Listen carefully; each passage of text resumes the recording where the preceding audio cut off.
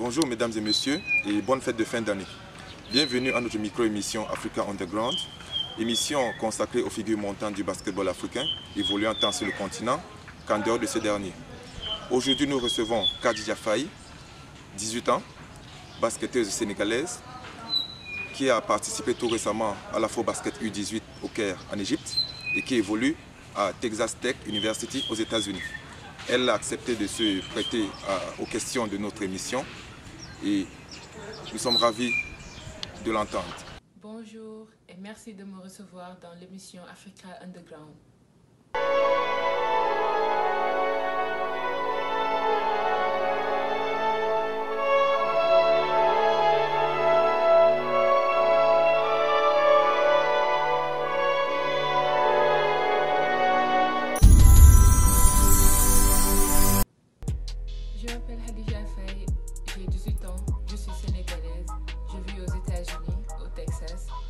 Joueuse de Flying Star Academy de Dakar.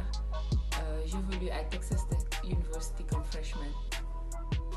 J'ai toujours aimé le football, mais puisque j'avais la taille, les gens de ma famille et là où je vivais me disaient toujours d'aller jouer au basket. Un jour, ma mère m'a amenée dans un centre de basket et depuis, je suis tombée amoureuse de ce sport. À mes débuts, euh, je jouais au basket juste pendant les vacances parce que mon père était plus euh, pour les études. Et le plus j'allais, le plus j'aimais le sport.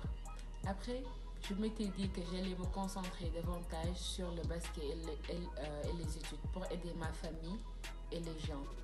C'est par la suite que Ibrahim Ndiaye de Flying Star m'a pris sous ses ailes et m'a pour m'aider à m'améliorer. Et c'est grâce à lui que je suis venue aux États-Unis en 2017.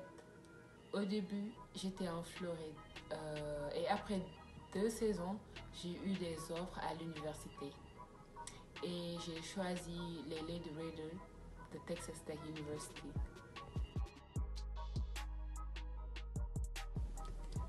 Mon rêve est de jouer au WNBA ou au haut niveau et aussi jouer avec l'équipe nationale A et gagner des trophées.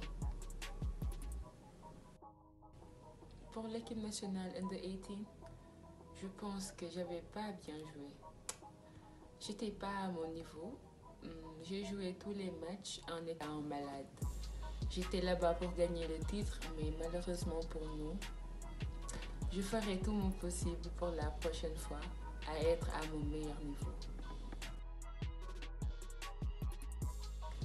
Pour moi, la meilleure joueuse, c'est la légende Astou Traoré, meilleure scoreuse de tous les temps de l'Afro-Basket Women.